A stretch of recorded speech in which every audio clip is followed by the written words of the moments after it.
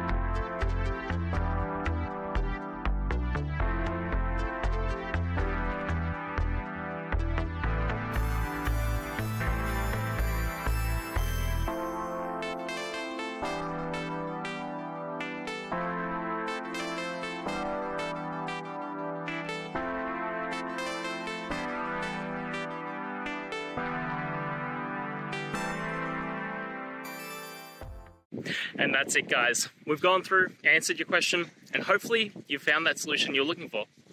Guys, if you did, please hit subscribe. I'd really appreciate it. And until next time, you need technical help, I'll see ya. Have a good one.